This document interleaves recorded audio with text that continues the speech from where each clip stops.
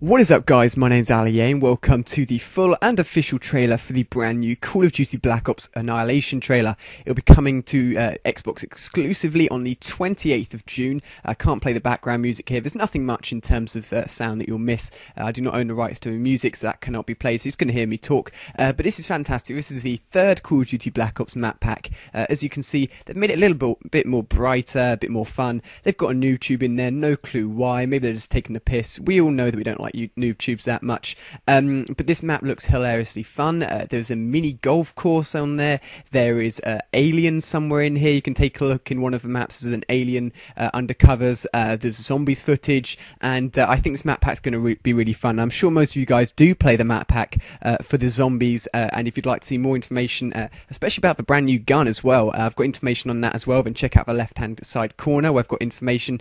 Um, but when will this be coming to the PS3? It will be coming around a month month later, and the PC also around a month later.